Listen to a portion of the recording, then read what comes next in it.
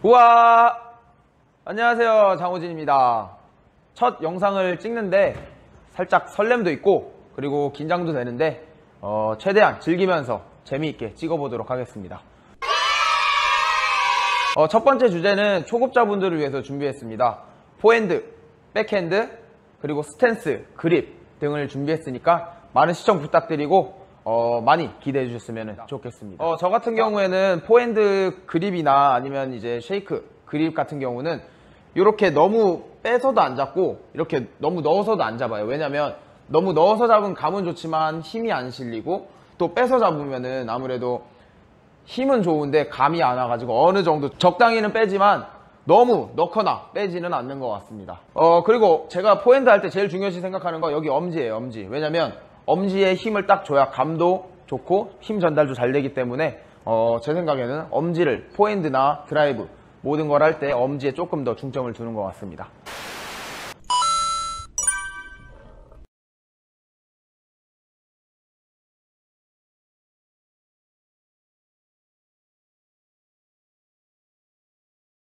포핸드 할 때는 스탠스. 스탠스는 어떻게 하냐면 어, 어깨 넓이보다 조금 더 벌려준 상태에서 왼발을 조금 앞에 두는 스타일이에요. 그래야 조금 더 포핸드 할 때, 드라이브 걸 때든 그냥 스트로크 칠 때든 조금 더 잘 빠질 수 있다고 생각하기 때문에 왼발을 조금 더 앞에 두고 어깨 넓이보다 조금 더 벌리는 스타일입니다. 이렇게 해가지고 왼발 앞에 그리고 어깨 넓이보다 조금 더 벌린 상태에서 무릎은 살짝만 구부려준 상태고 그리고 포핸드 할 때 제일 중요한 거 중심 이동이에요. 오른발에서 왼발, 오른발, 왼발, 오른발, 왼발. 그리고 여기서 중요한 건 뒤꿈치 절대 땅에 닿으면 안 돼요.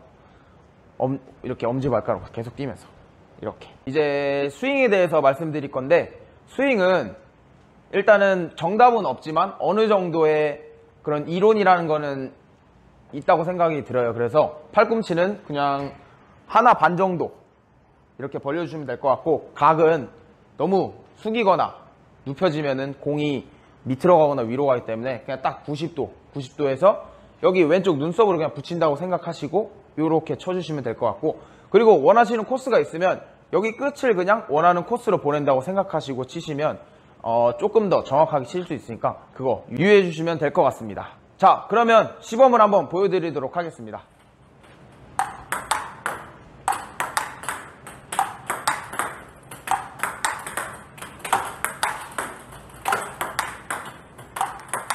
네, 이렇게 시범을 보여드려, 보여드렸 다시피 제가 각이 어떻게 되어 있나요? 이렇게 되어 있나요? 이렇게 되어 딱 이렇게 되어 있잖아요.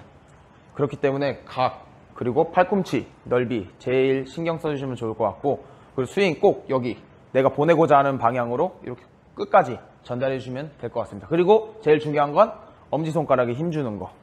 너무 많이 주셔도 안 되지만 그래도 제 생각에는 안 주는 것보다 주는 게 훨씬 좋다고 생각이 드니까 이거 꼭 유의해 주셨으면 좋겠습니다. 그러면 제가 조금 더 이제 리듬감이나 중심 이동 그리고 조금 더 빠르게 시범을 한번 보여드리도록 하겠습니다.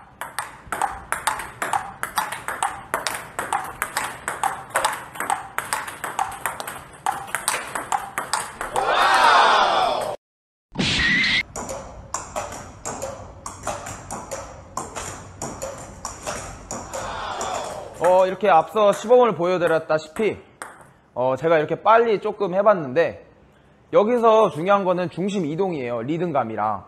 일단은 포핸드 기본은 오른발에서 왼발, 오른발, 왼발, 오른발, 왼발인데 여기서 뒤꿈치가 붙어 있잖아요. 그러면 리듬이나 이런 그런 빠른 볼 전환이나 반응이 안 되기 때문에 무조건 뒤꿈치는 떼주시고 그러고 엄지발가락에 힘을 주신 상태에서 계속 이렇게 방방 뛰듯이 있잖아요. 그듯이 계속 이렇게 리듬을 타주시면서 이렇게 움직여 주시는 게 포핸드 익히는데 그리고 스텝 익히는데 좋기 때문에 꼭 이 점도 유의해 주셨으면 좋겠습니다. 영상 재미있게 보셨나요? 재미있게 보셨으면 구독, 좋아요 한 번씩만 눌러주세요. 오늘은 여기까지!